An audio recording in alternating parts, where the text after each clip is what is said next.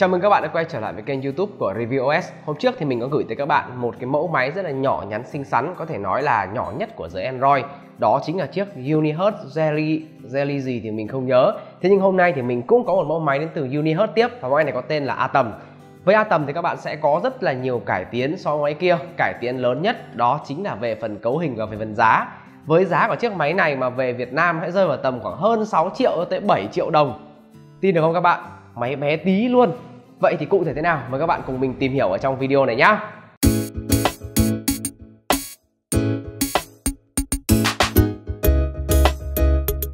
Ờ, với hộp này thì các bạn sẽ có một cái que chọc sim này Bên trong này là sách sử dụng và các bạn sẽ không có ốp cho chiếc máy này Tiếp theo ở dưới thì các bạn sẽ có một cái miếng dán màn hình được hãng tặng kèm luôn Rất là cẩn thận và tinh tế ở phía dưới phần cáp này thì các bạn sẽ có chúng ta một củ sạc và một cáp sạc đi theo máy. Đó chỉ như vậy thôi củ sạc cáp sạc không còn cái gì nữa không có tai nghe trong máy này luôn.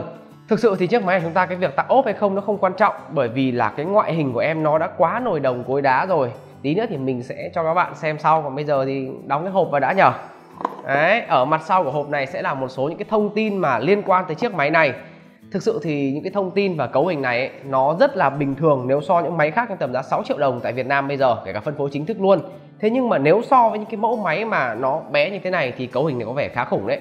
Và cái trải nghiệm sử dụng của mình trong mấy ngày qua với cái máy này thì cũng rất là thú vị.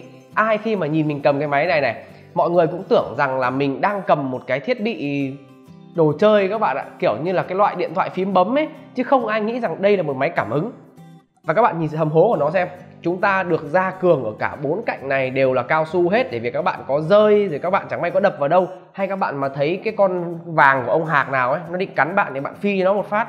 Và chưa kể là tiêu chuẩn kháng nước, kháng bụi ở trên chiếc máy này là IP68 với IP68 những cái mẫu máy flagship bây giờ các bạn thấy không? Phải hy sinh vì thiết kế, một thiết kế đẹp nên các bạn sẽ không nhìn thấy cao su ở bên ngoài này, không nhìn thấy rất nhiều ốc vít như thế này. Và tất nhiên là cái độ đảm bảo thì phần nào chúng ta nhìn thôi, cũng cảm thấy nó đi xuống còn cái máy này thì khá là kín. Nhưng mà một cái điểm cộng với chiếc máy này ấy, mặc dù IP68 thế nhưng mà cổng tai nghe này cổng sạc này vẫn không bị che bởi những cái nắp cao su. Vì vậy cái việc sạc các bạn rất là dễ. Và tất nhiên là cổng tai nghe 3.5 thì tiện lợi rồi. Các bạn cắm tai nghe nào vào máy này cũng được. USB Type-C là chuẩn sạc mới nhất. Như vậy cái máy này không hề cổ lỗ sĩ một chút nào. Tuy là loa của máy đặt ở phía sau thế nhưng mà âm thanh cho dù bạn đặt xuống bàn nó lại còn kêu to hơn chứ không hề là kêu bé đi. Bởi vì là chúng ta có một cái phần gồ lên đây này. Đây chính là phần để móc dây vào máy luôn với cái phần gồ này, khi bạn đặt xuống dưới cạnh bàn thì nghiễm nhiên là máy nó sẽ hơi cao hơn một chút so với bàn ở cái phần loa và tiếng vẫn phát ra rất là đều. Các bạn nghe nhạc bình thường không vấn đề gì. Quay trở lại với tiêu đề video của mình thì các bạn cũng đoán ra vì sao cái máy này nó chống được cái tệ nạn cướp giật rồi, đúng không? Nói cướp thì hơi khó nhưng mà giật thì chắc chắn là được. Vì tay mình là tay bé mà mình cầm này, nó gọn trong lòng bàn tay của mình như thế này. Khi mà ra đường nha, lúc mà mình dừng ở lệ đường mình có thể là cầm như thế này, nghe, cầm như thế này, xem bản đồ cực kỳ an toàn luôn, không bao giờ sợ có ai đi qua và cầm nó đi, mất như con P20 Pro của mình. Và chưa kể, cứ cho là các bạn tay yếu đi, không giữ được, làm thêm một cái dây. Anh em buộc ở đằng sau máy này, luồn vào tay. Thế là thôi, giật được cái máy thì lại có cái dây nó giữ lại. Quá là an toàn và đây là một chiếc máy cực kỳ thích hợp để các bạn long nhong ở ngoài đường, các bạn đi dạo xem bản đồ. Mình đã test thử tính năng xem bản đồ ở trên máy này khi mà mình thử di chuyển ấy, thì cái điểm trừ đó chính là màn hình nó hơi bé, thành ra là mình phải kéo, phải zoom một lúc thì mình mới nhìn được và một chút nữa là GPS của máy thì đôi khi nó không được chính xác. Thành ra là nó sẽ hơi bị lệch sang bên phải hoặc bên trái một tí thì các bạn sẽ cần dùng mắt để cân đối lại.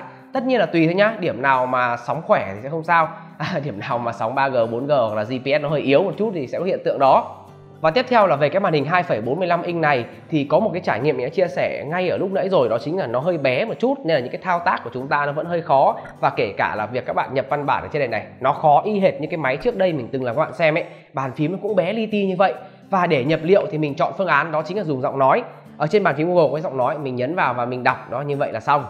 Mình có gặp một chút vấn đề với cái độ sáng màn hình của chiếc máy này, cũng như là cái phần tự động điều chỉnh độ sáng. Có vẻ phần tự động điều chỉnh độ sáng nó không được ngon cho lắm, nó liên tục sáng tối sáng tối ở trong nhà và làm cho mình khó chịu. Còn khi đi ra ngoài đường thì mình để mắc độ sáng, nó cũng chỉ nào mức chấp nhận được thôi, nó không phải là sáng tuyệt vời. Và nếu như các bạn đi ra dưới kiểu điều kiện mà trời nắng chói thì cái máy này sẽ hơi khó nhìn màn hình một chút. Các bạn à, lưu ý cái vấn đề đó.